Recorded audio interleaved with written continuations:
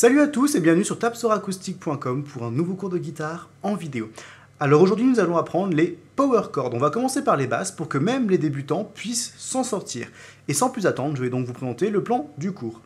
Oula, attends, c'est quoi ça? Hé, hé, t'as fait une connerie, c'est pas le bon, c'est pas le bon, fallait pas le montrer celui-là. Non mais arrête, il faut pas que... Arrête, enlève-le, enlève-le, je te dis J'espère que vous avez rien vu, hein Putain, merde, vous avez vu quelque chose? Ah, c'est secret, alors vous en parlez à personne. Hein. Surtout, vous dites pas que c'est moi qui vous l'ai dit. Hein. Je risque ma peau sur le coup là. Si...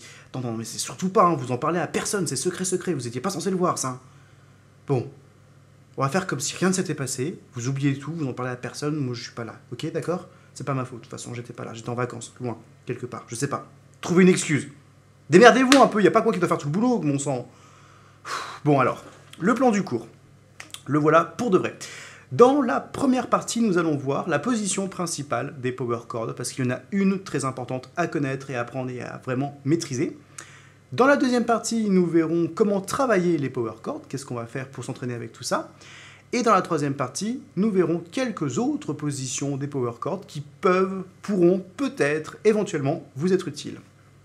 Donc je vous attends dans la première partie.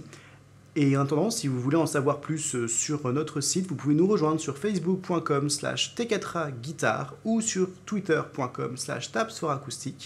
Et peut-être qu'on euh, on vous inclura dans le plan secret que vous avez vu mais que vous n'êtes pas censé avoir vu. Alors chut, tout de suite.